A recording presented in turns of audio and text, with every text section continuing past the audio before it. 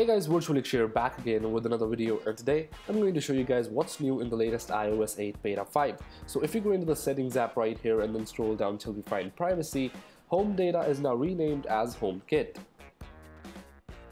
After that, another thing that's new is that we now have this blur transition while pulling down the spotlight search and swiping down to actually get the spotlight search is now much more faster than before and it's a change that I very much like.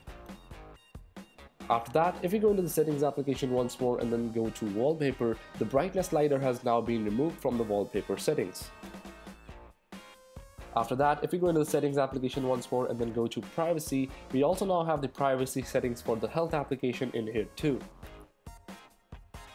Also, if you go into the settings application once again and then scroll down till we find iCloud and then scroll down once again, we now have new icons for iCloud Drive, Backup and iCloud Keychain. Also, if you go ahead and open up the health application here and then tap on health data and then tap on all and then we go ahead and tap on the share button, we can now export the health data directly from the app itself. Also, if I go ahead and open up my notes application right here and then press and hold on that smiley face to open up my keyboard switcher, we now have a toggle right besides the predictive text settings. After that, if I go ahead and open up my settings right here and then scroll down till I find my photos and camera, under iCloud Photo Library settings, we now have an option to optimize our iPhone storage or download and keep original photos. Also, if I go ahead and open up the health application once more and then tap on medical ID and then tap on create medical ID, we now have an option to show the ID itself when someone taps on the emergency dialer while your device is locked.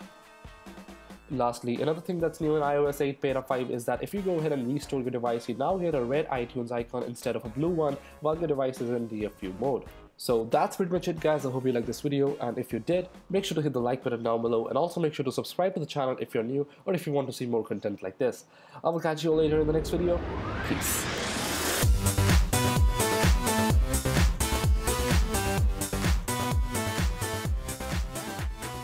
Hey guys, thank you so much for watching that video. If you enjoyed, make sure you hit the like button down below. Also, if you are sticking around for a moment, make sure you check out my video on how to install iOS 8 Beta 5 for free without a registered UDID or developer account. And also make sure to follow me on Twitter and Instagram. All those links will be in the description down below, as well as on the screen right now with an annotation.